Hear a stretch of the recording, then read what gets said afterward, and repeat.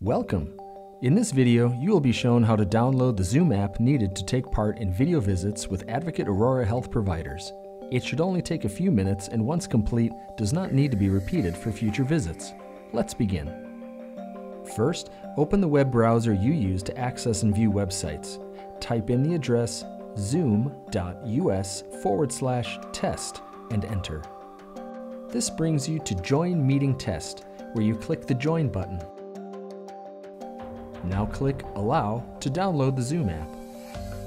Now click Download and Run Zoom. The file should download quickly. Go to your Downloads folder and click on the zoom.pkg file to begin installation. When the Install Zoom window opens, click Continue. Now that Zoom is installed, return to your web browser and click Join a Meeting. Enter the name you would like to use during your video visit. Now you'll see a video preview window. Click Join with Video. Click OK to allow Zoom to access your computer's camera. And click Join with Video. You should see yourself in the window.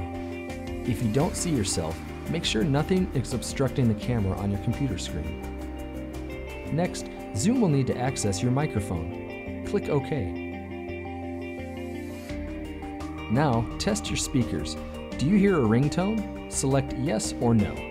If you select no, the Zoom app will look for another speaker on your computer. Finally, let's check your microphone. Say a few words, then listen. Do you hear yourself? Select yes or no.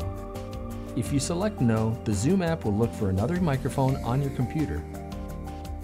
Now that the speaker and microphone are working, click Join with Computer Audio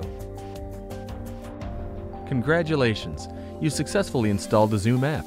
Now click End Meeting to complete the process.